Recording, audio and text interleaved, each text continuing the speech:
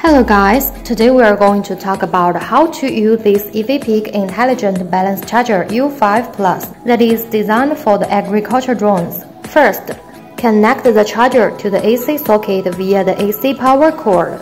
Then, insert the battery to the charger via this adapter cable. Power on the charger by pressing this button. Now, we are going to talk about how to charge your battery. There are two buttons. This is for charging and the other one is for storage.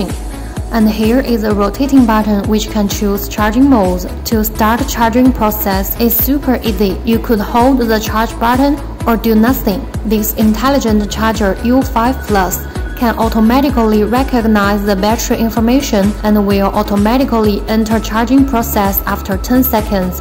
During the charging, you can check more information from the screen such as cell voltage, charging current, capacity, and the time. When you want to exit the process, just press the button again like this. When the batteries were long time of no usage, the storage function is recommended. Just press the storage button to start the process.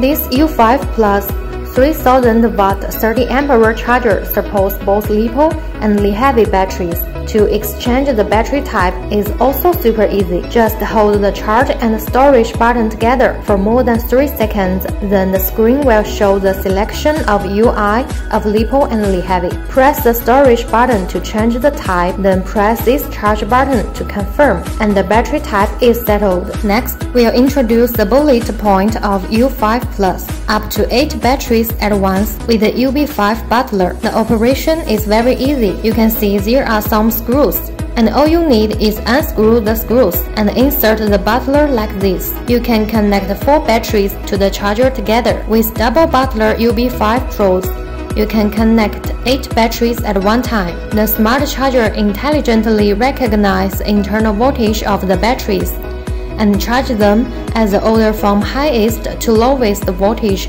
at maximum 30 ampere.